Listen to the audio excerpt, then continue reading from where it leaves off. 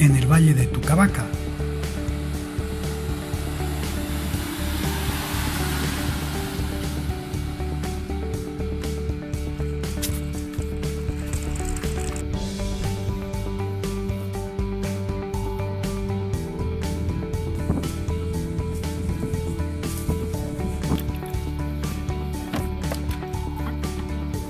Los voluntarios llevan alimento y agua para las aves y animales silvestres de la zona.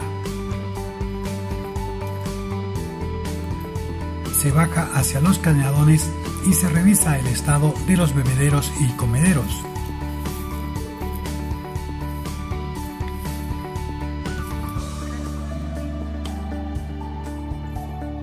Estamos en Valle de Tucabaca, es una parte del primer punto que hemos tocado y hemos encontrado que los animales han venido aquí y han tomado el agua, se han servido de ella, también de la fruta. Tenemos, hemos encontrado la fruta, solo la, la cáscara seca y el nylon del bebedero está totalmente vacío y destrozado porque parece que con la necesidad de la sed han bebido hasta la última gota. Bueno, para ahora hemos traído lo que es la fruta, como sandía, Hemos traído papaya, hemos traído guineos, piña, naranja y para las aves eh, girasol.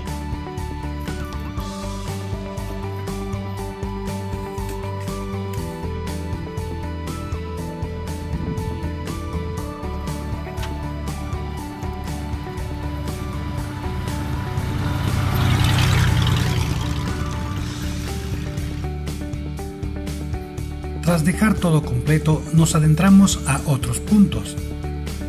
La sorpresa es evidente al encontrar todo vacío.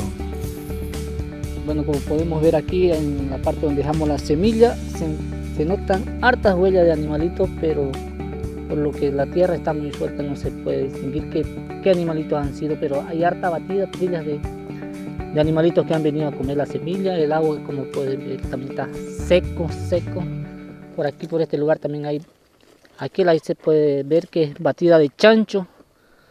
Chancho ha venido también aquí, han venido a comer la semilla, han tomado agua.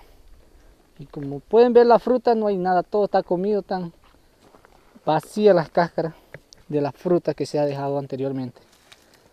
Este es el segundo punto aquí del Valle de Tucabaca.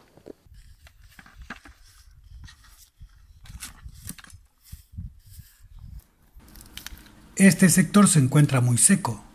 Las lluvias caídas en los últimos días no han logrado producir alimentos para la vida silvestre, por lo que se hace necesario reponer lo consumido.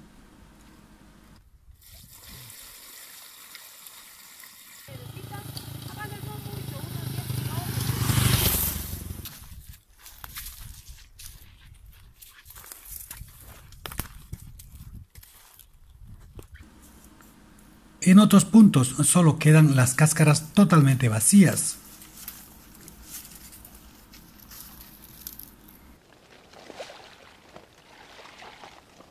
Este lugar, se, como lo pueden ver, se ha encontrado toda la fruta que se ha dejado, se la han comido. Lo único que sobraron fueron un poco de agua y ahorita estamos vaciándolo para ponerle en agua limpia. La respuesta de los animalitos ha sido bastante beneficiosa hemos encontrado que todas las frutas que anteriormente hemos dejado están desaparecidas porque parece que se lo llevaron a otros lados y algunas que otras quedan acá solo la cáscara.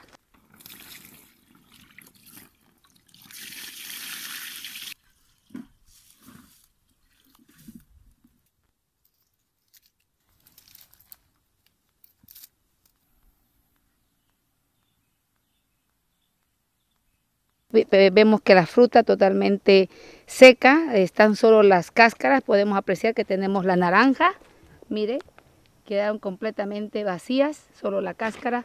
Tenemos papaya, las papayas también dejaron las cascaritas. Y tenemos algunos niditos acá, hemos puesto unos pequeños comederos para aves. Y también hemos encontrado que está medio vacío, picado por las avecitas que hay en este lugar.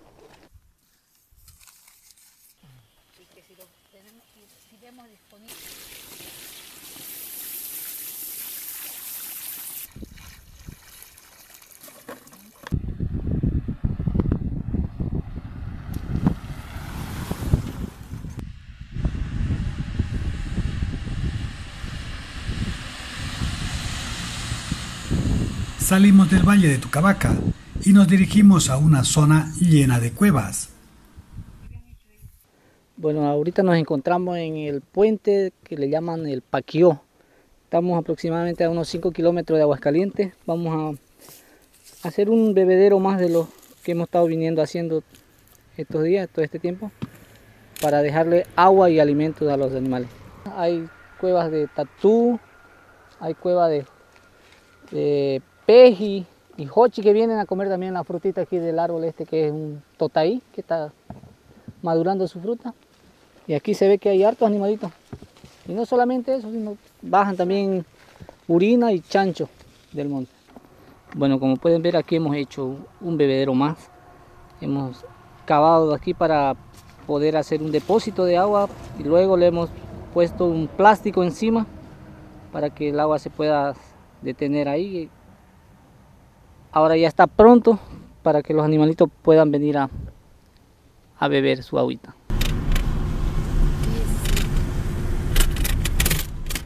En otro sector el fuego no dejó nada para que los animales y aves se alimenten. Estamos en la comunidad de San Rafael. Eh, como pueden ver es un lugar seco. A unos 500 metros eh, se ha, ha, habido el acontecimiento del fuego, el incendio. Y aquí hemos montado un bebedero, un punto de bebedero y de comedero. Como podemos ver, el bebedero lo encontramos de esta manera, con muy poca agua. Ah, también tenemos el semillero completamente vacío. Y las frutas que hemos puesto como comedero, no hay ni una fruta.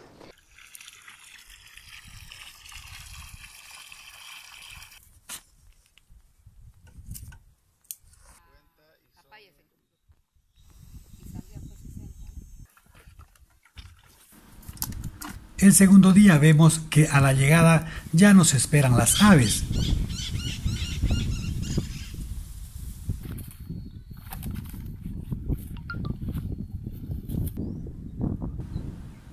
Pese a la recuperación del lugar, todo está vacío.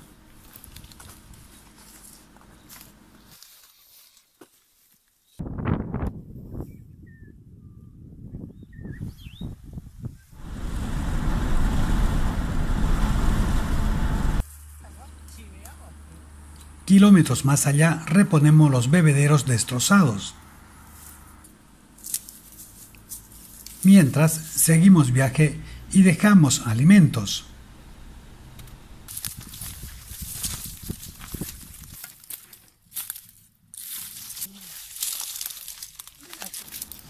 En este punto incluso se puede ver por dónde llegan los animales.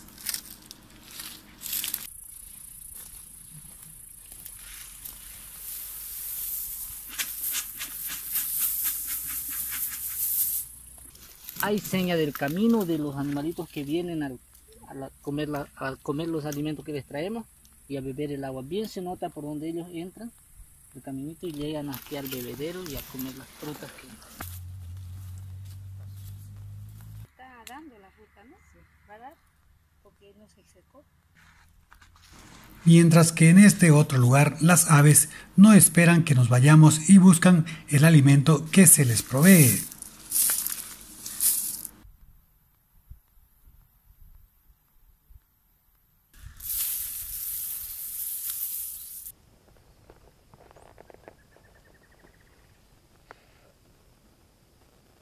Y aquí hemos encontrado que el bebedero aparentemente han consumido pero poca agua, eso nos quiere decir que aquí debe haber cerca un río.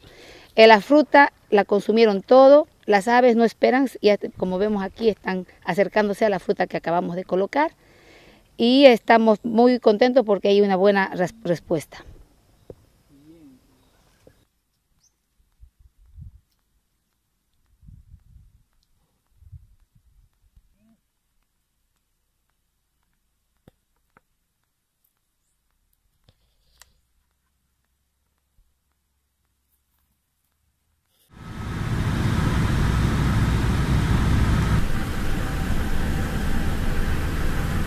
Nos encontramos en la zona de Chochís.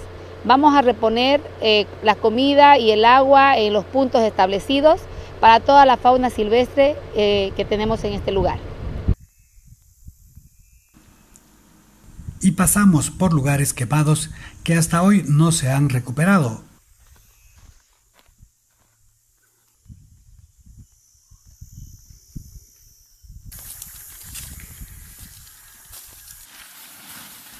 Aquí todo estaba destruido y dejamos un letrero reponiendo agua y frutas. Este lugar lo hemos pillado todo desde hecho, los animalitos han comido todas las frutas, se han tomado todo el agua y eh, como el, el suelo queda húmedo por el, plástico que le ponemos, lo han escarbado todo, lo sacaron el plástico y han estado escarbando todo alrededor que lo taparon de nuevo el, el bebedero que hicimos. De ahorita estoy haciéndolo de nuevo, cavando para poner otro nuevo plástico para colocarle nueva agua también.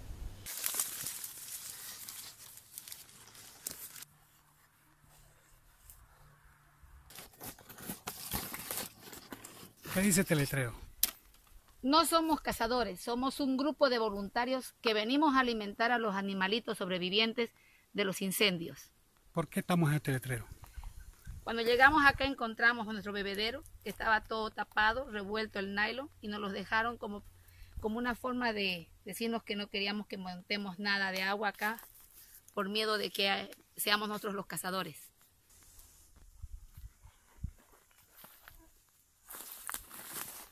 Ahorita, por ejemplo, ha llovido ¿no? y han retoñado algunas plantas, y, pero no hay fruta todavía en el monte. Eh, tendríamos que esperar algo de unos 5, 6 hasta un año para que otras plantas fruteen de nuevo y así los animalitos puedan tener alimentos.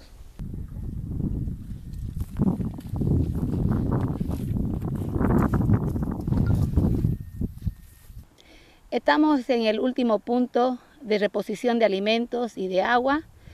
Hasta el momento hemos tocado ocho comunidades, 21 puntos de comederos y bebederos y como ven estamos dejando las últimas frutas que los animalitos han respondido bien hasta el momento.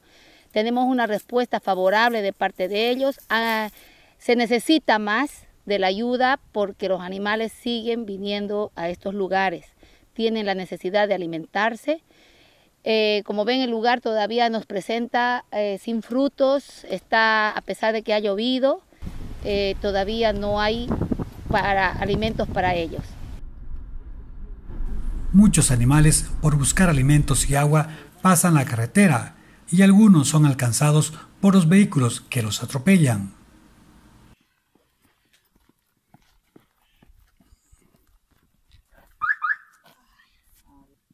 El medio.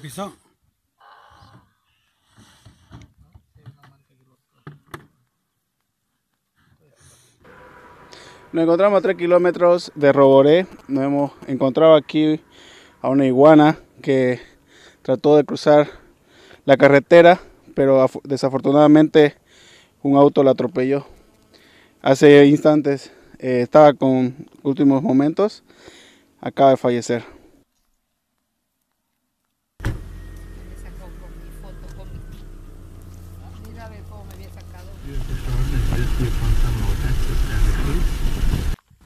El tiempo es escaso por las largas distancias y hasta la noche es usada para proveer de alimentos y agua.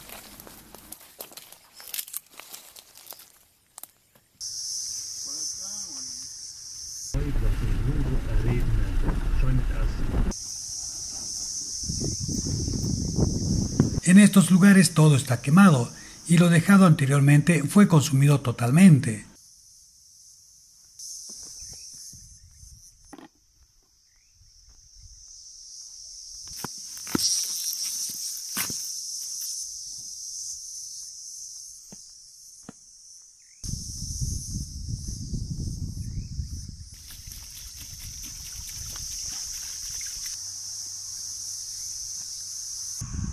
Tenemos una viborita que está visitando nuestro pocito de agua. Acá nos encontramos con una casca del puga.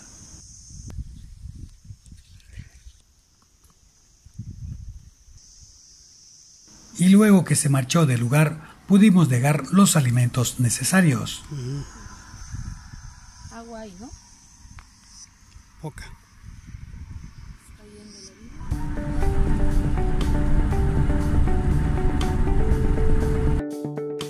El tercer día y con ayuda de un dron pudimos observar cómo está la zona, por lo que dejamos más alimento y agua.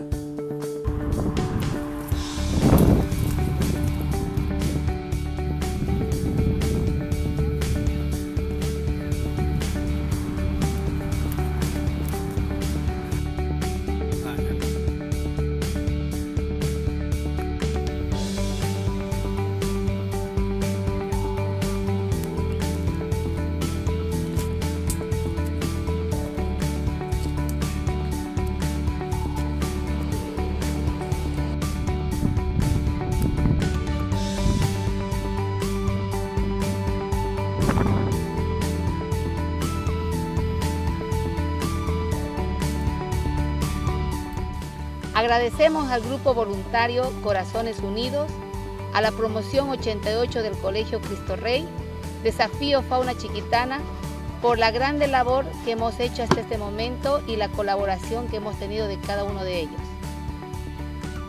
Acá podemos observar que pese a lo quemado con las lluvias, el lugar poco a poco comienza a recuperarse. Esperanza para la vida silvestre de la chiquitanía y sobre todo de Roboré.